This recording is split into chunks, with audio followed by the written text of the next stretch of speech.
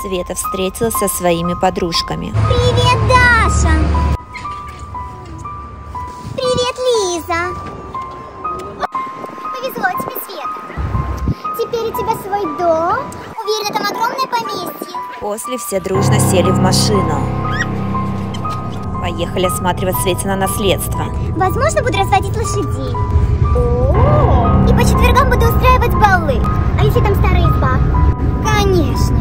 Наконец-то приехали. Все дружно вышли из машины. Им не терпелось увидеть Светина наследство. Ну и где твоя халупа? Нет, нет, э, где-то здесь должен быть дворец. Света, вот этот адрес. Даша указала на дом. Наверное, это так. А дворец за ним. Света бросилась искать свой замок, может он где-то рядом.